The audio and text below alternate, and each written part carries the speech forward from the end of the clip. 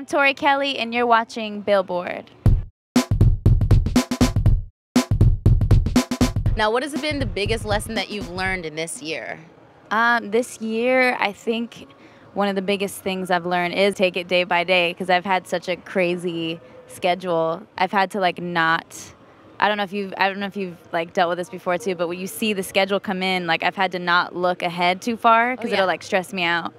So, um, but I think no, just like taking it day by day and living in the moment, and um, also touring too has taught me a lot. Just like how to be with my fans and just Yeah. Like hang out with them. They're just people too. I have a fun game to play. Oh, okay, I'm down. Do you like playing games? Yes. In one fishbowl, we have um, we, have little nervous. pieces of paper with a whole bunch of names, but they're really popular artists. And then on the other side, we have a bunch of um, of chorus like that. We have the hooks or the the titles of songs. Right.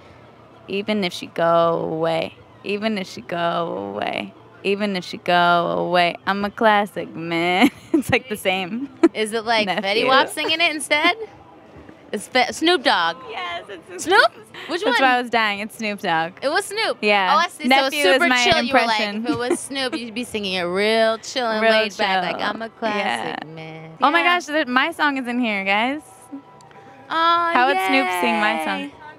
As How would, Snoop, how would Snoop sing your song? hey, thinking it could be different, but maybe we missed it. Yeah, thinking it could be different.